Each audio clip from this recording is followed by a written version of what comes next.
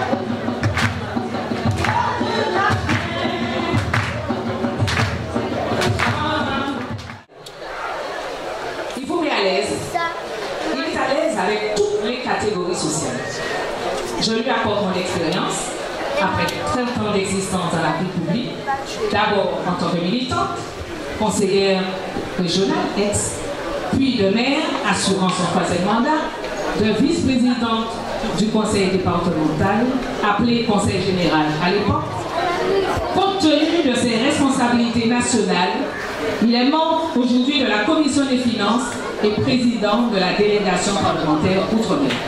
Il en parlera mieux Effectivement, ami Marcel Chidiscar depuis longtemps. Madame la représentante de Bémao, de Petit-Bourg, de Port-Louis, du Gosier, Madame la présidente de la FDSEA, elle est partie, elle est là, Maxette est là, je ne la voyais pas. Je salue l'ensemble des élus des trois villes. Je salue mes, camarades, les femmes s'engagent. GUSR avec à leur tête Tania Galvani. Merci de votre présence en masse à l'intérieur et j'imagine à l'extérieur aussi. Ça fait plaisir et j'ai pu comprendre que cette décoration est aussi votre œuvre. Bravo. Je voulais aussi saluer le, nouveau club intergénérationnel que j'ai eu plaisir à voir danser, chanter. Et je ne peux pas m'empêcher de saluer quelques amis chers. Harry Malicieux, euh, fidèle camarade et soutien depuis toujours. Mais aussi Achille Romain, où est-il Achille? Je l'ai vu, qui est aussi un camarade. Je salue bien évidemment M. Vagao, camarade socialiste, lui aussi de longue date, fidèle soutien. Et j'ai envie de dire merci à l'Ardin, François Cléonis, il sera pourquoi, ainsi que à Huguette Ballot, elle sera pourquoi, et aussi à M. Maes et les autres. Je ne peux pas ne pas saluer quelqu'un que j'admire beaucoup, il le sait, je le lui dis à chaque fois, c'est un exemple pour moi, le docteur Henri Joseph du corps guadeloupéen. Et il se trouve que tu es assis à côté de notre grand guadeloupéen Marie Galantais, Monsieur Jacques Bad. Et à ce niveau-là, je salue toute la famille Bad. Bien évidemment, je salue l'ensemble des forces constituées et l'ensemble des capestériens Marie. Tout d'abord, je dois vous remercier, mais je le ferai de façon beaucoup plus politique le 5 août chez euh, notre ami Viator à Capester, euh, chez, comment chez le Touloulou. Donc le 5, je remercierai pour euh, ceux qui m'ont fait confiance pour le vote pour l'élection législative à midi 30. Vous êtes toutes et tous, bien évidemment, invités. Mais je dois quand même remercier les Marie Galantais dans leur ensemble. Et oui, Marie-Galante euh, est une terre qui n'utilise pas beaucoup l'engrais, qui n'utilise pas donc beaucoup d'éléments polluants. Et pour la politique, c'est pareil. Ça veut dire que les pousses, eh elles progressent tout doucement, petit à petit. Et effectivement, à Marie-Galante, vous prenez le temps de l'observation pour accorder votre confiance. Et d'ailleurs, comme il s'agit d'agriculture, on n'est pas à l'abri parfois, lorsque les pousses commencent, euh, d'intempéries, euh, de mauvaises surprises, de sécheresse arrive, mais enfin, c'est ainsi qu'est Marie Galante et nous l'acceptons. Eh bien, je voudrais dire aussi à Marine Miraculeux Bourgeois, merci parce que c'est vrai que le travail législatif que j'ai entamé après les élections municipales a été long, a été fastidieux. Mais je n'aurais pas aussi bien réussi si tu ne m'avais pas fait confiance. Si tu ne m'avais pas accordé ce que tu as en toi depuis tout temps, une rectitude, un travail sérieux, une volonté politique, une fidélité, un honneur et aussi l'expérience de trois mandatures en tant que maire, conseillère régionale, départementale et autres, et en tant que suppléante, coéquipière, je suis sûr, j'espère que cet investissement à mes côtés se traduira le moment venu par un autre niveau de responsabilité pour toi tenir mes engagements de maintenant, rendre compte à la population qui m'a élu. Je suis député de cette circonscription et je dois vous rendre compte de ce que j'ai déjà fait en moins de un mois et demi. J'ai tenu mon engagement de vouloir constituer un groupe parlementaire. Pourquoi? Très rapidement, parce que je dois vous sensibiliser à ce qu'est la vie parlementaire. Le vrai pouvoir politique, c'est dans les groupes parlementaires qui fixent l'ordre du jour et qui peuvent aussi pouvoir prendre la parole dans l'hémicycle. Les députés de Tramarin n'étaient pas encore mûrs, c'est ainsi. Le travail parlementaire, voilà ce que j'ai appris aussi, ce que j'apprends. C'est un travail de longue haleine. Un travail qui n'est pas un travail d'injonction, mais de persuasion, d'échange pas à pas avec les différentes forces constituées et le gouvernement. J'y reviendrai. Depuis je suis membre de la commission des finances, alors pour vous, ça ne veut pas forcément dire grand-chose. Il y a huit commissions permanentes, mais il y a une qui est beaucoup plus forte que les autres, c'est la commission des finances. Peu d'ultramarins, très peu de Guadeloupéens avaient jusque-là la chance et l'honneur d'être membre de cette commission. Je le suis et je suis très content de cela. C'est là où on peut vraiment faire avancer les choses tous les textes de loi que vous passez, que vous voyez passer, c'est pas tellement dans l'hémicycle que ça se joue. Ça se joue en commission. Et la commission, ça se joue beaucoup, c'est la commission des finances. Je dois vous donner un scoop. J'ai plusieurs scoops à vous donner aujourd'hui. Important, je crois. Le premier, c'est que j'ai été nommé, euh, désigné, euh, rapporteur spécial au budget de l'outre-mer à l'Assemblée nationale. Qu'est-ce que cela veut dire? Ça veut dire qu'il y a un budget qui est préparé par le gouvernement, mais l'interlocuteur principal euh, de ce budget à l'Assemblée, eh bien, ce sera moi. Et donc, il y a des choses à dire, je reviendrai tout à l'heure sur l'interpellation concernant la baisse des dotations des collectivités. Là aussi, j'ai un deuxième scoop à vous donner, je ne sais même pas si je dois vous le donner, mais enfin, je vous le dirai quand même. Et puis on verra. Je suis président de la délégation aux Outre-mer à l'Assemblée nationale. Ça, c'est quelque chose de fondamentalement important. Ça regroupe l'ensemble des 27 députés ultramarins, plus l'ensemble de 27 députés hexagonaux qui s'intéressent euh, aux problématiques ultramarines. Avec cette désignation, je peux vous dire que l'élection législative n'était pas facile, mais cette élection à la délégation n'était pas évidente non plus parce qu'on avait en face de nous des hommes et des femmes de grande qualité et surtout des réunionnais qui ont un savoir-faire beaucoup plus ancien que nous dans ce domaine-là. Mais enfin, nous y sommes parvenus et nous avons d'ores et déjà commencé à travailler sur cela. Je dois vous dire que j'ai fait une intervention réussie pour défendre les 40%. Je vous le disais, c'est en commission que ça se passe. Et on auditionnait le premier président de la Cour des comptes. Vous savez, c'est celui qui est le patron de la Chambre régionale des comptes ici, qui est souvent tutélaire des collectivités territoriales. Eh bien, on lui a dit que son travail n'était pas satisfaisant pour pouvoir stigmatiser les 40%. Il l'a compris à sa manière, le gouvernement l'a compris, et une semaine après, au Sénat, le ministre du budget d'Armanet a dit qu'il ne remettra pas en cause les 40% cette année, mais enfin, on continuera à surveiller cela de près, parce qu'on n'acceptera jamais que nous, ultramarins, nous soyons stigmatisés sur des éléments qui ne tiennent pas la route. J'ai fait aussi une question écrite au gouvernement et au ministre Hulot sur les sargasses. Vous savez mieux que moi quel est le souci. J'ai rencontré le, le ministre Hulot et il m'a dit qu'il est tout à fait preneur que nous puissions euh, lui soumettre des propositions. En fait, ils arrivent et ne connaissent pas forcément bien cette situation-là.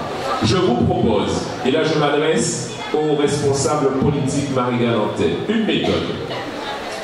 Il se trouve que je suis membre de la majorité présidentielle. Il se trouve que je suis président de la délégation première, donc ça veut dire que l'oreille euh, que les gens de là-bas ont euh, est beaucoup plus facilitée. Et je propose que sur tous les dossiers, nous travaillions ensemble pour aller de concert défendre les problématiques auprès des gouvernements, parce que je suis sûr qu'ensemble, nous serons plus crédibles, fort et donc plus écoutés et donc nos propositions avanceront, que ce soit sur le DIVD, que ce soit sur les sargasses, que ce soit sur la continuité territoriale, on sera plus fort ensemble avec euh, le collègue euh, sénateur Cornano et les collègues des collectivités locales. Je vous assure que ça fonctionne comme cela. Alors, ensuite, justement, la semaine dernière, c'est le deuxième scoop, 13 milliards d'économies jusqu'à 2020 sur les collectivités territoriales. Ça, c'est l'annonce du gouvernement parce que le budget de la France doit rentrer sur les 3% du déficit euh, par rapport à l'Union européenne. Qu'est-ce que propose Darmanin? Donc ce que je vous dis là, ça peut sortir pour voter. À part un déjeuner, nous étions euh, 8 députés et le ministre de la Commission des Finances. Qu'est-ce qu'il propose? Mais nous avons validé ça. Donc, euh, il nous a dit euh, de faire fuiter et que euh, lui, il va dire qu'il est d'accord. C'est aussi comme ça que ça se passe. Eh bien, qu'est-ce qu'il propose? Il propose de la contractualisation avec les collectivités territoriales. Mais les 150 à 300 plus grosses collectivités de l'Hexagone. Il propose donc parce qu'il doit à la fois diminuer et trouver 13 milliards d'économies, mais à la fois ne pas pénaliser le fonctionnement des collectivités. Donc qu'est-ce qu'il dit? Il dit, moi je veux contractualiser avec les 150 à 300 collectivités les plus importantes qui représentent 75% de la dépense budgétaire de l'État. Donc c'est finalement l'effort le plus important. Et là, ça veut dire que nous, on doit être prêts je ne suis pas sûr que Marie-Galante fasse partie des 150 à 300 collectivités les plus importantes. C'est pas une mauvaise chose, je reviendrai sur les autres tout à l'heure. Mais si nous en faisons partie, parce que souvent nous avons des, villes beaucoup plus importantes que la moyenne d'habitants des communes de l'Hexagone, eh bien ça veut dire que c'est de la coproduction. Ça veut dire qu'il faut que sur l'horizon 2020, nous soyons prêts à proposer un contrat avec le ministre du budget pour pouvoir dire voilà, mais nous avons une trajectoire de dépenses vertueuses, nous avons une trajectoire d'économie, mais aussi nous avons une trajectoire pour avoir des investissements structurants et dans la mesure où le contrat est respecté, il y aura une prime à l'investissement. Voilà la logique pour les 150 à 300 plus importantes collectivités. Pour les autres, pour les autres, je lui ai posé la question en pensant à mes territoires.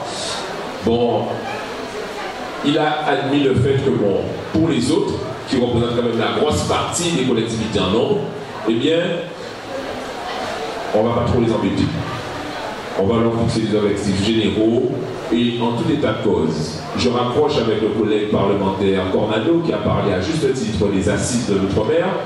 Eh bien, je lui ai rappelé qu'il y a la loi égalité réelle du 28 février 2017 concernant égalité réelle outre-mer. Ça veut dire quoi? Ça veut dire que nous avons déjà le principe de contractualisation intégré dans la loi. Et un très beau travail fait par la députée euh, Barrette, ministre Barrette, ministre Lurel, etc.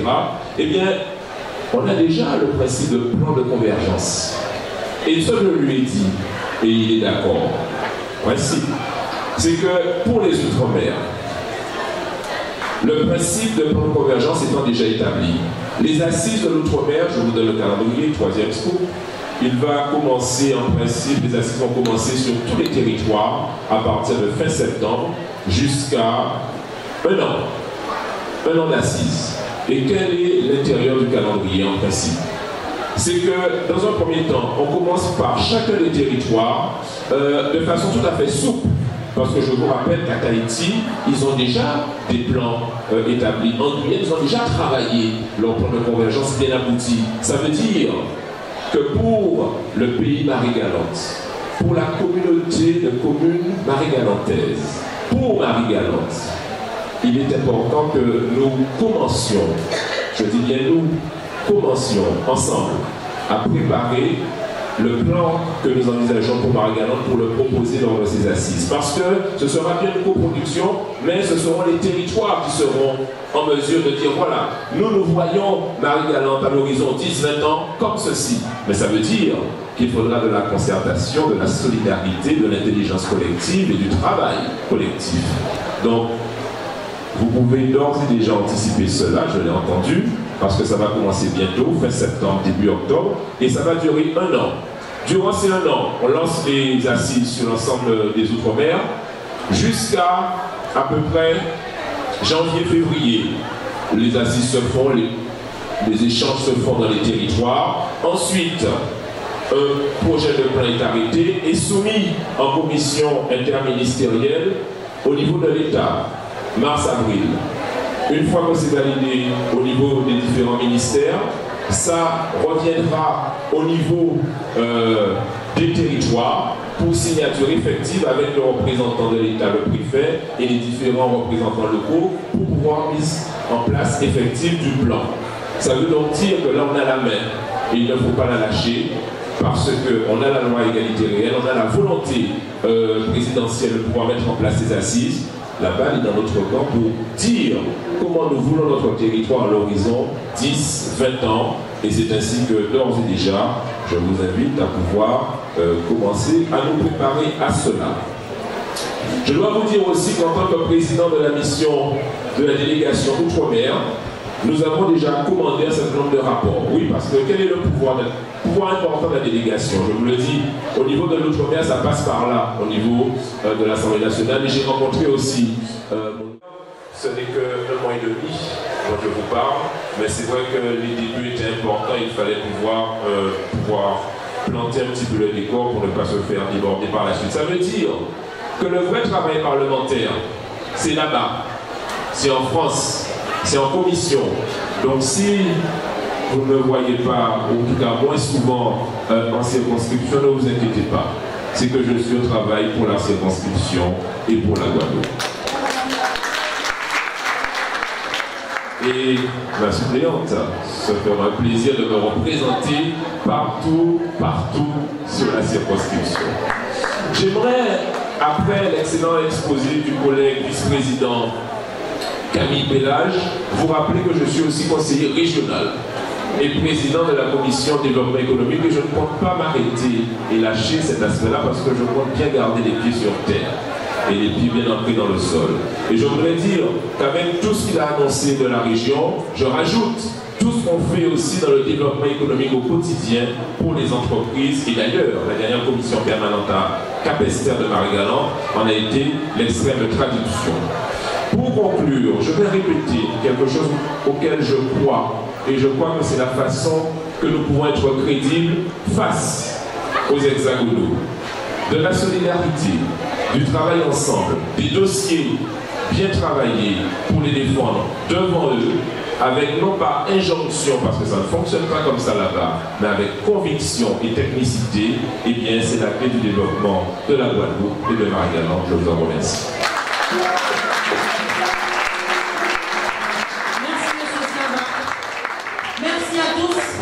Merci aux invités. Merci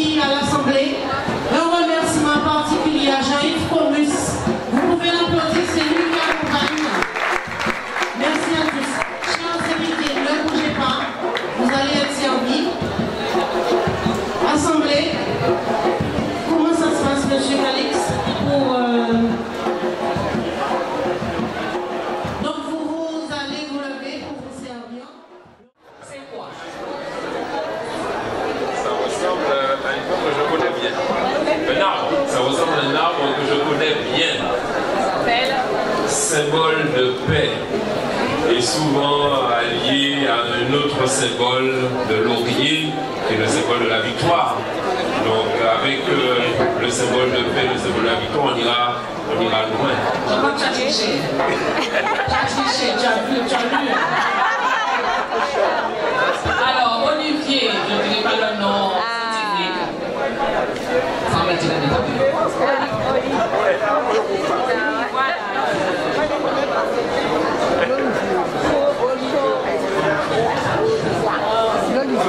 le nom scientifique, c'est Olea Europa. Merci. Alors, symbole de justice. Justice, sagesse, raison, victoire et paix. Alors, Olivier. Je suis allé jusqu'à Pointe-à-Pitre. Je suis allé jusqu'à Pointe-à-Pitre chercher deux Olivier. Un pour toi, un pour moi. Nous allons le planter, les planter le même jour. Et à- au fur et à mesure que les branches vont se développer, je pense à Marianne. Alors, il faudra que la culture aussi se développe à Marianne. La double insularité, qu'elle soit reconnue là. Le social, moins de chômage à Marianne. L'économie, qu'elle se développe en même temps que les proches de ces deux oliviers. Il ne faut pas une famille. Si une famille nous prie, bon, voilà. Alors, ce Je m'engage à faire l'huile. Oh, quand il s'apportera des olives. Voilà. Eh bien, Madame le maire, chère euh, Marlène Miraculeux Bourgeois, je suis très touché par euh, cette attention de ta part. Je n'y attendais pas. Je crois au symbole. Et je trouve extrêmement séduisante l'idée de les planter euh, ailleurs, ici et ailleurs. Je n'ai pas encore de terre, mais enfin, quelque part aux amis, je trouverais bien un endroit où planter. sur la place de la mairie. Et donc, je le ferai avec sérieux. Et tu sais, ça me donne l'occasion aussi de pouvoir revenir à l'essentiel. J'avais la main verte quand je prenais le temps de m'occuper de, mes arbres. Je le planterai, j'en prendrai grand soin parce que c'est la symbolique de la Guadeloupe tout entière qui est un peu entre nos mains. Eh bien, j'en assume la responsabilité avec toi. Voilà, un grand pharmacien. Il a déjà oublié l'environnement. Parce que c'est important. Voilà. Voici. Alors, on se donne rendez-vous le même jour, à la même heure. Nous allons planter, on s'appelle, défends-toi à Gazan, défends-toi à Gazan, ouais. On va planter à la même heure, et il faut qu'ils poussent ensemble. hein. Voilà. Engagement. Oui, bien sûr, tu dois celui que tu veux. Mais effectivement, il y a quelqu'un qui a dit pourquoi pas là, dans le cours. Il y a, il y a un espace pour ça. Et dimanche dernier, je ne sais pas si le père, le, le curé est encore là, dans son homélie, il disait l'adversaire, et j'ai bien retenu ça, l'adversaire ne dort jamais. L'adversaire n'a pas sommeil. Quand nous nous dormons, l'adversaire, lui, il agit. Alors il est dehors, il ne dort pas. Alors j'ai dit, si je plante mon olivier dans le bout, le lendemain, on Chez toi. Je n'ai rien d'autre à rajouter. moins, là, c'est notre propriété. Et là, c'est un don de la route, c'est un don. Merci. Merci de tout cœur.